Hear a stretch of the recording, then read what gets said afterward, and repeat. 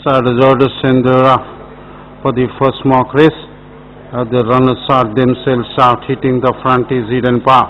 Eden Power leads this field about two lengths in front of Rob Roy in second, then tucked down the rail is Koinur Wish as the field appro- approaches the 800 meter gap, about length behind comes uh, in reality, and then there is Stick of Gold. Big Move is racing second last, and racing last is in reality.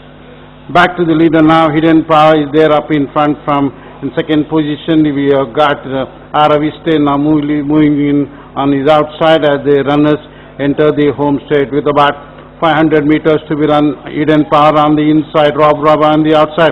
Koinur Wish is looking good on the outside, then comes uh, Araviste that in reality, big, move in, and racing in the rear is Trick of Gold.